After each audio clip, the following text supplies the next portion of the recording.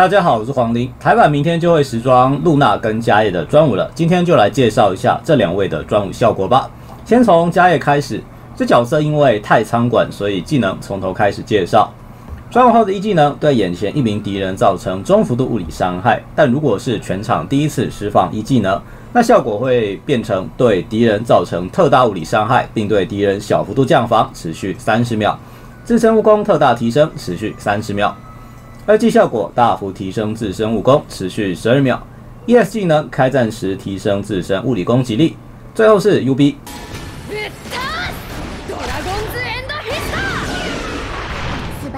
对眼前一名敌人造成特大物理伤害。如果是初次使用此技能，伤害量大幅度提升。专武属性是武功跟误爆。专武加业是一个什么样的角色呢？简单来说就是。第一次很痛，第二次以后就不痛了。那这边说第一次是 E.G 跟 U.B 想歪的自己去面壁。好了，那就接着来看实战吧。把家业抓去欺负现在日版活动王，一分十九秒，家业第一次一技对活动王造成十三万的暴击伤害。然后一分十八秒，踊跃破防后使出了 U.B 把王破防给破满。接着加 U.B 跟上，打出了八十二万的伤害。可怜的王在一分十七秒就被 K.O. 了。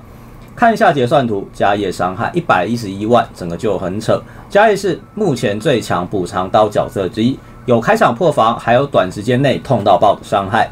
家有专用以后，每天打短时间补偿刀都一定会用到。战略战玩家强烈建议要练，非常非常的强。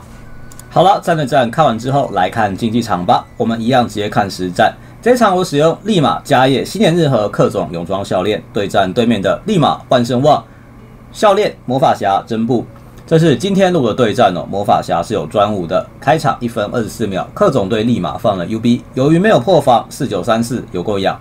一分二十二秒，家业用第一次一技打立马，造成了暴击伤害二三零八六有够痛，这小技能打得跟 UB 一样痛哦。接着新年日和 UB 破防立马，家业一拳打在立马脸上，三八三二五，本游戏最硬物理坦克直接蒸发掉了。这对强就是强在拆坦超强，但缺点这场也看得出来，由于完全没有补时，而且是一只一只拆，打到后面笑练有可能会反杀，非常的可怕。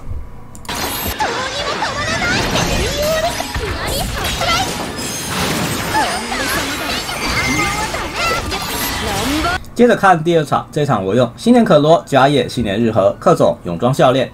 对抗对面圣诞教练姐姐酒鬼新年女仆真布的组合。开始前要先说一下，新年可罗是我这边放错了，应该要放立马才对。真布会把黑暗丢到家业头上，这样子家业火力会大打折扣，很亏。开场各种 UB 打圣诞教练将近两万，然后家业一技打在圣诞教练以三万六，配合新年日和小招，圣诞教练直接蒸发。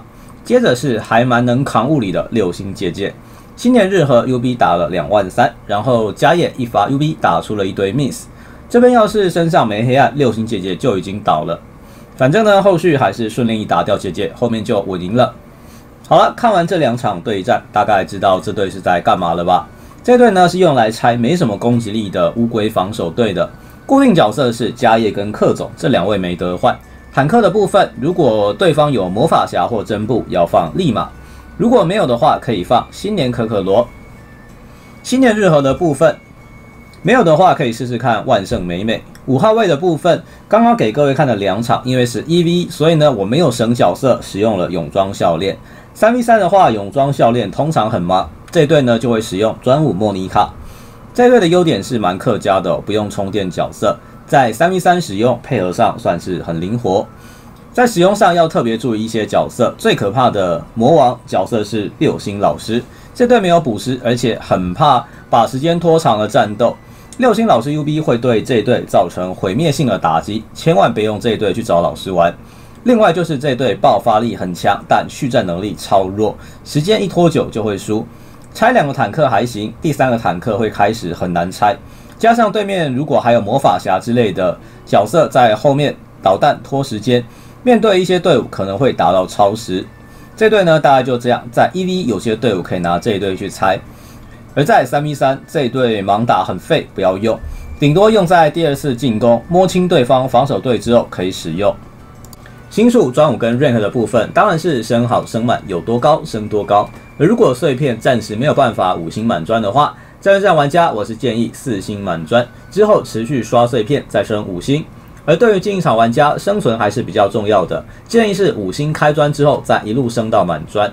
以上就是家业专武的部分了，接着是露娜。露娜身为战略战跟竞技场的热门角色，我就不从头介绍一次技能了，直接讲专武后的一技效果吧。对剩余血量最多的我方角色造成中幅度魔法伤害，并中幅度恢复 TP，并赋予小幅度提升魔法攻击力、大幅提升魔法暴击的效果，持续十二秒。并小幅度恢复自身 TP，专武后的一技能在造成伤害量跟补 TP 量都没有变多，有变的是多了几个效果。专武属性是魔法攻击力、TP 自动恢复跟 TP 消费减轻。露娜的专武并没有带来什么惊天动地的改变哦，使用方式跟之前大致相同。比较值得注意的是专武的 TP 消费减轻的部分，在新年黑猫刀中。露娜的 UB 使用方式基本上都是加速自身的行动速度，具体来说就是尽量去中断二技不灭的怨念。二技释放时间超级久又打不透，还不如早点中断掉，多断几次就可以让露娜整场多释放一次的一技能。而 TP 消费减轻可以让露娜更早集满 TP 去中断不灭的怨念。在部分新年黑猫刀中，专武不够高，有可能会没办法中断到不灭的怨念。导致最后少一发新黑 UB，但专武升太高的副作用就是提升了露娜的魔法攻击力，魔法攻击力越高，一技打人越痛。好处呢是被打获得的 TP 更高了，但缺点是新黑有可能会血量吸不回来而歪轴。所以露娜专武要升多高是一件非常令人头痛的事情哦。那我这边还是保守一点啦。战略战玩家呢建议大家专武开着，等级保留一，后续看别人。放出来的作业要多少专武再升上去？进场玩家就直接升满吧。OK，以上就这次影片的全部内容啦。喜欢的影片可以点喜欢、订阅并分享，然后要开启订阅旁边的小铃铛，才能第一时间收到本频道的通知哦。感谢各位的收看，我们下次见。